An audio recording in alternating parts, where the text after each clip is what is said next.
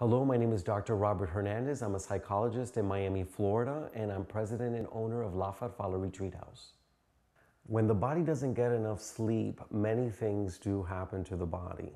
First of all, metabolism is affected. You have glucose, uh, levels of glucose, levels of insulin, that those are affected.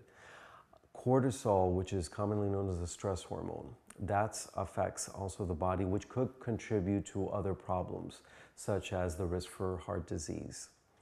And the other thing that's definitely affected is just overall stress.